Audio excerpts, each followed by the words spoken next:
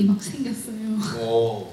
근데 언니들이 필라테스를 진짜 열심히 하, 하시는 거예요. 그래서 하라 언니가 추천을 해줬어요. 필라테스를 한번 해봐라.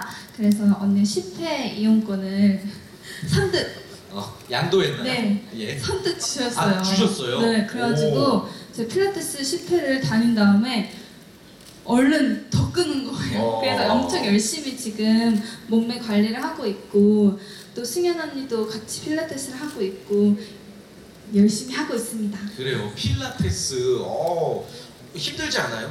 아, 너무 좋아요, 진짜. 어. 네, 몸 여자한테 정말 좋은 운동인 것 같아요. 그래요. 근육이 커지지 않고 몸매가 네. 또잘 네, 유지되고 좋습니다. 다른 분들은 또 어떤 자기 관리 하셨는지 하나씩. 네, 어, 영지 말대로 저희는 정말 꾸준히 한 명도 빠짐없이 어, 일주일에 여러 번 운동을 해서 체력 관리와 몸매 관리를 열심히 하고 있고요.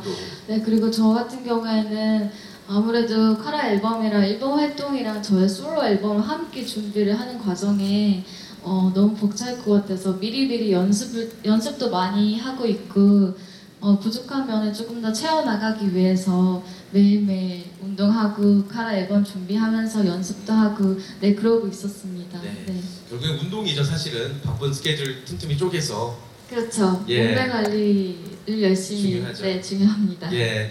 우리 영지